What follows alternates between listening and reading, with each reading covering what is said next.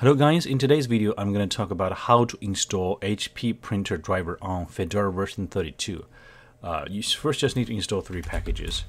Uh, sudo dnf install yes cups HPLIP HPLIP graphic user interface.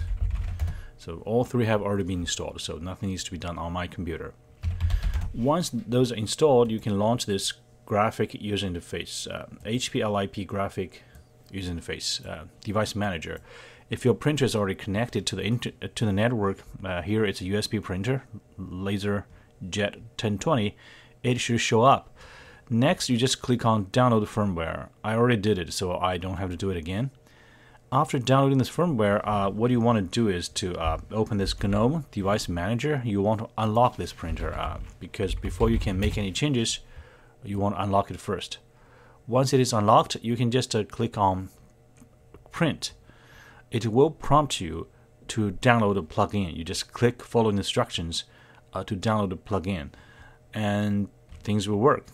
Uh, sometimes it may prompt you, hey, your Python 3 is not working, uh, not responding. What do you do? Just click on wait. Wait one second or two, it will work.